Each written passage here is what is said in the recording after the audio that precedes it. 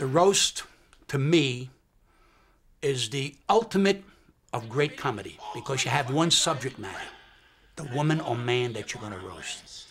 And you got to know there's going to be two hours where the people getting up there, and you're in the championship fight of comedy. You are in the championship fight of comedy. I didn't come here to get laughs. Anybody get laughs. That's easy.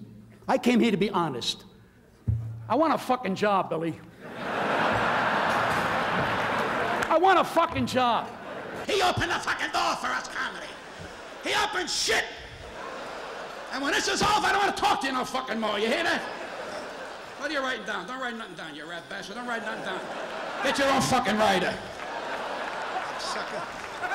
I ain't got a right. He's writing my shit down to doing this cocksucker's roast.